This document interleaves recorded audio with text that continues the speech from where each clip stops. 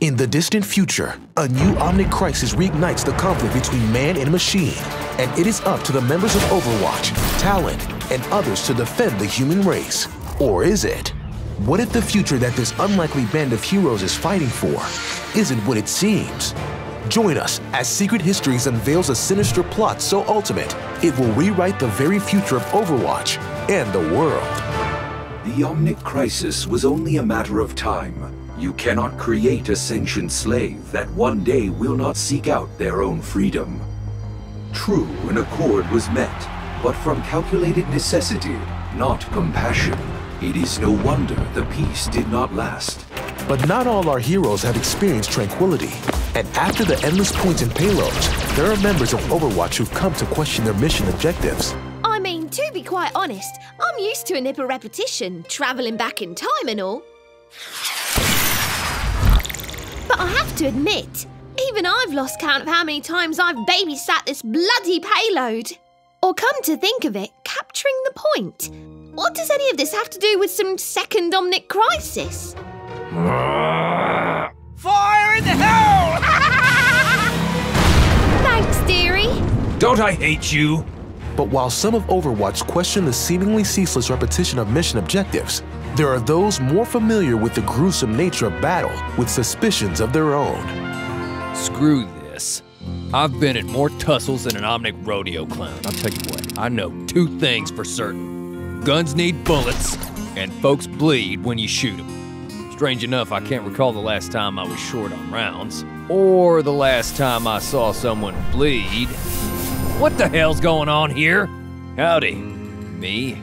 Stranger still, there are oddities far more peculiar that only the most brilliant and observant minds have been able to point out. While highly improbable, it appears that we are identical in virtually every way. After cross referencing your data, which was excellent, by the way, I must concur. Why, thank you.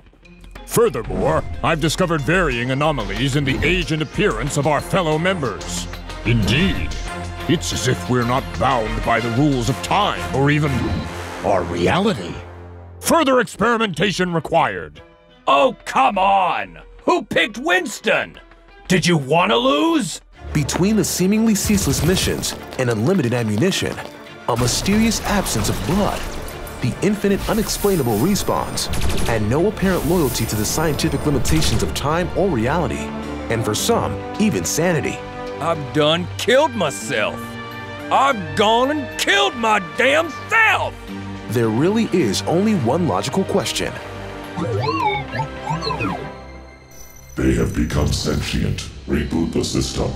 Rebooting simulation. Omnic Crisis 2. It would be far more logical to erase all traces of their consciousness.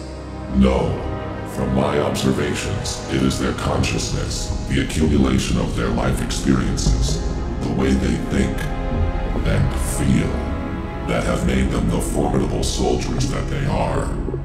Their consciousness is the very reason we selected these captives from the Omnic Crisis.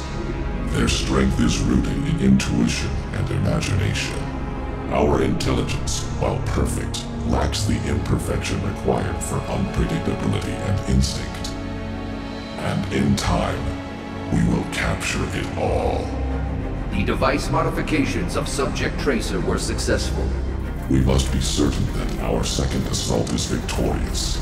I have calculated a much more effective means of collecting such combat strategies to better prepare our forces.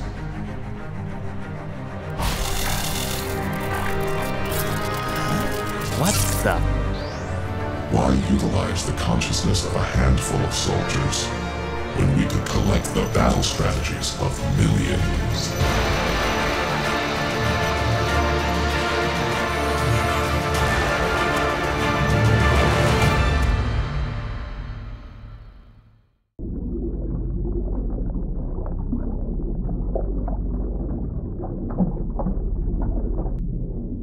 I've gone and killed my damn self!